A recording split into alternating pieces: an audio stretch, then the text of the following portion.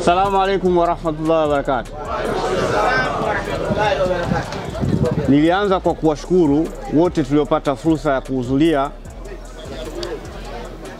dua yetu maalum ambayo ni ada na imekuwa ikifanyika tangu uanzishaji wa klabu hii, na moja kati ya wasia ambazo tumepewa na wazee wetu kwamba kila mwaka lazima tuanze na dua hii kuwarehemu wenzetu ambao wametangulia, lakini pia na kujiombea sisi tulio hai rehma, na Mwenyezi Mungu atujalie kila lenye heri na sisi Amen. Nashukuru kwamba wanasimba wengi na inawezekana wapo ambao si wanasimba tumeweza kuhudhuria, na alhamdulillah wenzetu ambao wametoka mbali na madrasa mbalimbali wameweza kuja kutufanyia dua nzito.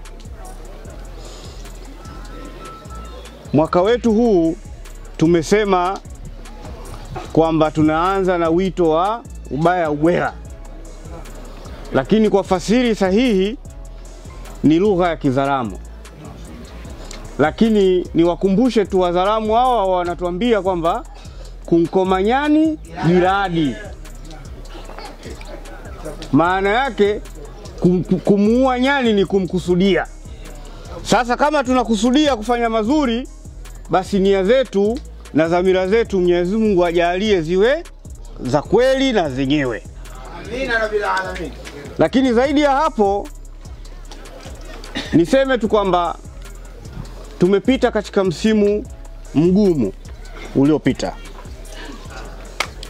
na tunaelekea kwenye msimu mwingine ambao tunatamani uwe mwepesi. Inshallah. Yale ambayo yamepita, hiyo ndio yamepita, na tumulike tunakoelekea.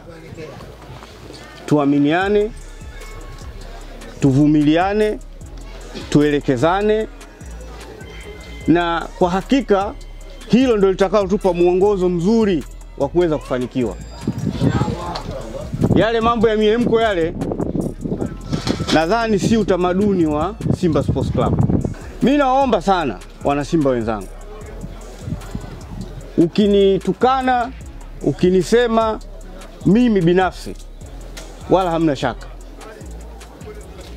wala hakuna shaka, na wala sikuulizi. Lakini ukimtukana mwenyekiti wa Simba, unajitukana we mwenyewe.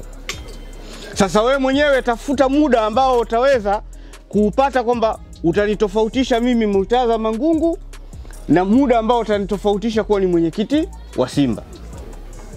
Simba ni taasisi kubwa, ni taasisi inayohusu watu wengi. Hebu tuangalie tu ujio wetu leo hapa, wametoka watu wa mikoa mbalimbali kwa gharama zao. Kina mama wameona wamekuja, wamependeza na madera wamenunua wao, wala hawajanunuliwa na klabu. Wengine kina baba mmekuja, mmeshanunua jezi mpya, wala hamjanunuliwa na klabu. Ni kwa mapenzi ya klabu yenu. Wajibu wa kila mwanachama ni kulinda nembo ama alama ya Simba Sports Club, na moja kati ya alama za Simba Sports Club ni viongozi. Sijui unajisikia fahari kiasi gani kile chombo ambacho wewe unasafiria unaamua kukitoboa. Sijui, sina hakika, na nawakumbusha kwa sababu hapa wengi tumesali, wengine tumeomba dua kwa imani zetu. Katika sisi ambao tunaamini kwamba kuna uwepo wa Mungu, hakuna sehemu yoyote ambayo Mungu amekwambia unaweza ukafanya tendo moja likakupa dhambi na thawabu.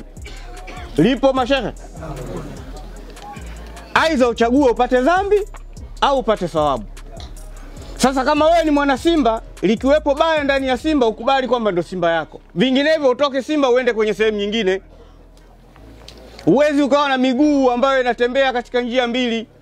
Hata wasia wa mtume wetu Muhammad sallallahu alaihi wasallam, huwezi ukatembea na farasi wawili kwa wakati mmoja. Sasa labda wewe uwe una imani tofauti, na niwaambie tu kwamba huwezi ukaizungumzia sifa ya kitu chochote katika sehemu moja tu. Yaani kwa mfano iwe unamwangalia tembo ukasema bwana, mimi tembo na msifu kwa ukubwa wake kwa kumwangalia unyayo. unakosea.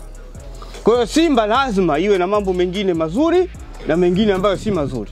Yale ambayo si mazuri tunashirikiana, tunarekebisha, tunakwenda, tunafungua ukurasa mwingine, tunafanikiwa na tunasonga mbele.